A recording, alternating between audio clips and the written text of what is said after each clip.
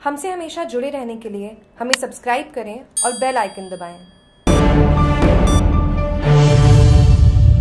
स्वच्छ भारत मिशन ग्रामीण के अंतर्गत कैस्केड मॉडल आधारित प्रशिक्षण आयोजित जसवंतपुरा पंचायत समिति में एसपीएम ग्रामीण के अंतर्गत कैस्केड मॉडल आधारित द्वितीय चरण का प्रशिक्षण ग्राम पंचायत राजिकावास मुख्यालय पर शुभारंभ सरपंच मूलाराम राजिकावास, सरपंच मोहन कंवर दांतलावास सरपंच कृष्णा देवी राजपुरा के द्वारा दीप प्रज्वलित कर किया गया। प्रशिक्षण S L R M expert Mohammad Adil Khan द्वारा ग्रामीण क्षेत्र में तरल व ठोस अपशिष्ट प्रबंधन के लिए सोक पीठ, नाड़े पद्धति, कंपोस्टिंग पद्धति ढेर पद्धति आदि के बारे में विस्तार से जानकारी दी गई।